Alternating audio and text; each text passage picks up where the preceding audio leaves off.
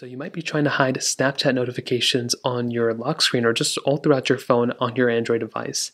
Now doing this is actually very, very easy. The first thing you want to do is you want to make your way over to your settings of your Android phone. Whether you have a Samsung, Google Pixel, it's the same thing. So make your way over to your settings panel and you want to find your notifications panel or your notifications option within the settings applications. You can see right here I have notifications. All you want to do is go and click on notifications and you'll pretty much come into this panel.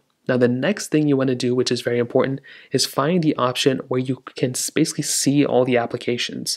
So you can see right here, we have more applications down here, and we have the ability of seeing all different applications that we have. So as you can see, it shows us most recent.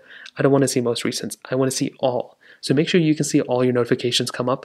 And what you want to do here is you want to scroll over until you find Snapchat. Now, if you're using Snapchat and you've got notifications already, you should be able to see it within here. So go and click into it and you'll come into this panel. Now here's where you can go and kind of configure what you want. So if you want to disable all the notifications, you might just want to go and click on disable this, and it's going to disable all the notifications that you're getting throughout your whole entire device. Now if you just want to disable here and there, you can also deliver quietly. So you can, you know, not allow sound and vibration.